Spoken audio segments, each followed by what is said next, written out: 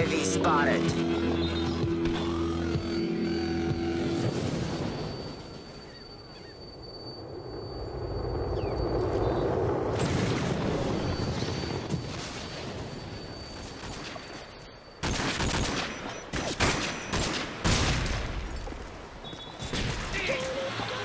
Makes you feel he's cool. He's a high We've taken the lead. Keep on them. We're winning this one.